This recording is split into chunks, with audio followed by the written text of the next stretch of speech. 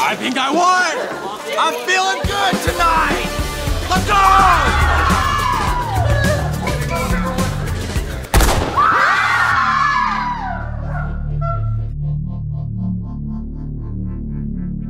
Dear nephew Harry, this is your Uncle Anthony. I have a little favor to ask you. I want you to take me on my dream vacation to Monte Carlo. The reservations are made and the vacation is booked. However, there is just one problem. I'm dead. If you take me on this trip, I will give you an inheritance of $6 million in diamonds. Just don't get caught.